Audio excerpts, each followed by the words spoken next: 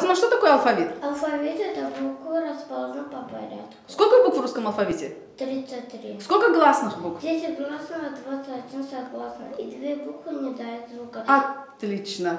Молодец, шикарно. Теперь скажи, пожалуйста, чем отличаются гласные звуки от согласных? Гласные звуки при переношении воздух не встречают препятствий, а согласные буквы воздух встречает препятствия. Молодец. Какие препятствия встречают звуки?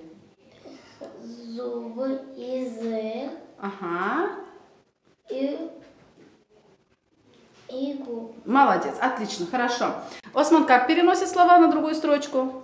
По слогам. Мгм. Какое правило там есть для переноса слов? Одну букву оставлять нельзя. Ага. И одну букву И одну букву переноси. выносить н- нельзя. Хорошо. А, как, э, скажи, пожалуйста, на какие вопросы отвечают слова, которые обозначают действие предмета? Действие, что делать? Молодец. Слова, которые обозначают признак предмета, на какие вопросы отвечают? Какой, какая? Отлично. Слова, которые обозначают предмет. Кто, что? Молодец. Осман, я сейчас буду называть слова, и ты из этих слов должен будешь найти слово, которое обозначает действие предмета. Напомни, пожалуйста, действие предмета на какой вопрос отвечает? Молодец, говори громче. Итак, я называю слова. Например, шкаф, красивый, компьютер, учится, флаг. Учится. Молодец, хорошо. А, скажи, пожалуйста, какие знаки препинания ты знаешь? Знаки восклицательный знак, точка, запятая И вопросительный знак. Хорошо. и запятая. Да. Я сейчас назову тебе несколько предложений, произнесу несколько предложений. Ты, пожалуйста, узнай, какие знаки препинания в каком предложении нужно ставить. Хорошо?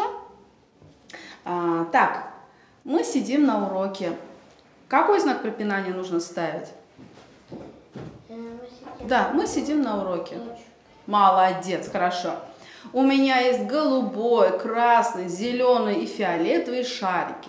Какой знак? Запятая. Молодец, отлично. А, ура, я наконец-то сдал экзамен. Хорошо, только говори громче, хорошо? Так, Осман, а завтра к вам приедут гости? Вопросительный знак. Молодец, Усман, молодец, очень хорошо. Я слышала, что есть такие буквы, которые называются етированными. Пожалуйста, перечисли их. Е-ю-ю-я. А, из каких звуков состоит буква Я? Е-а. То есть их краткое А. Из каких звуков состоит буква Е? Е-э. Е, и. Хорошо. Ю, Е-у. Ё. Е-о. Отлично. Вот скажи, пожалуйста, а, на письме через ЕА, то есть их краткое А, их краткое У, я могу писать? Нет. А, то есть это то, что мы слышим, фонетика наша. Скажи, пожалуйста, как мы обозначаем звуки на письме? Вот в квадратных скобках или круглых? Квадратных. Квадратных, молодец, хорошо. В каких случаях эти звуки дают два звука? Всегда дают два звука или у них какие-то правила есть? Правильно. Какие?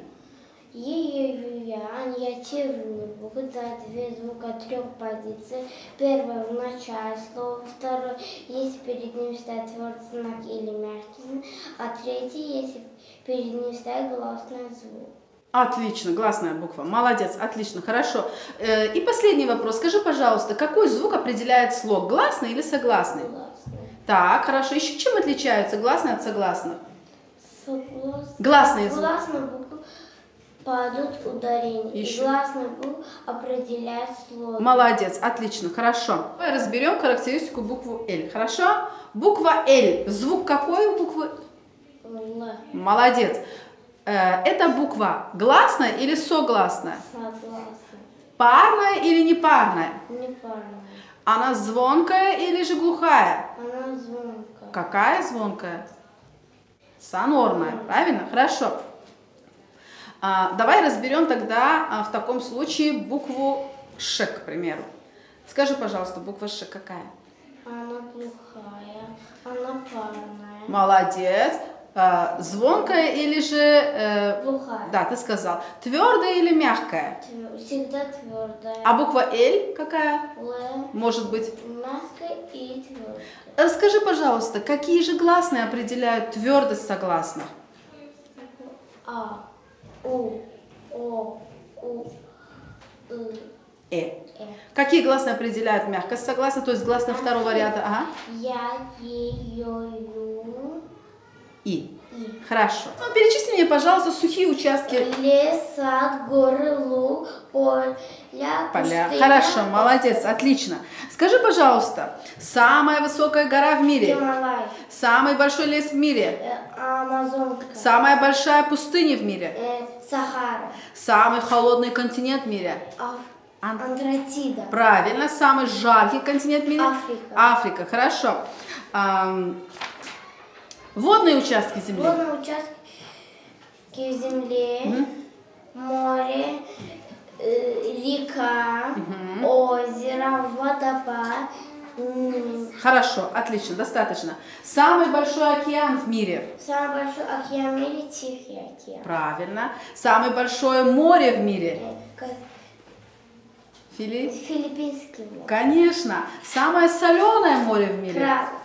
Так. Самое большое озеро в мире. Самое большое озеро в мире. Самое большое озеро это Каспийское. Правильно, хорошо. Самый высокий водопад в мире. Э, Ам- Амхе. Молодец. Самая большая, вернее, длинная река в мире. Длинная река Нил. Молодец, молодец. Скажи, пожалуйста, что такое глобус? Глобус это наш умножитель модель Земли. Хорошо. Наша Земля, планета Земля, она какая по счету?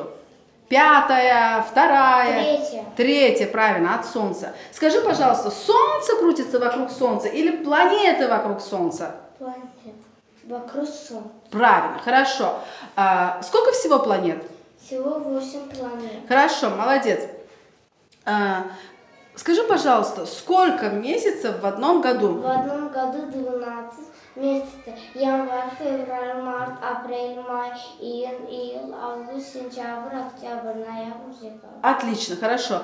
Перечисли мне, пожалуйста, летние месяца. Летние, зима. Нет, летние месяца перечисли. Май, Июнь. Июнь, июль, август. Отлично. Осенние месяца. Осень, июль, Нет, осенний. Сентябрь. сентябрь, октябрь, ноябрь. Хорошо, достаточно. Так, сколько дней в одной В неделе? одной неделе 7 дней. Понедельник. Понедельник, вторник, среда, четверг, пятница, суббота, воскресенье. Если сегодня вторник, то вчера какой день был? Вчера, Ага. Сегодня вторник. Вчера какой день был? понедельник. Как как? Понедельник. Если сегодня вторник, то завтра какой день будет? Завтра вторник, среда. Какой день? Среда. Молодец, хорошо.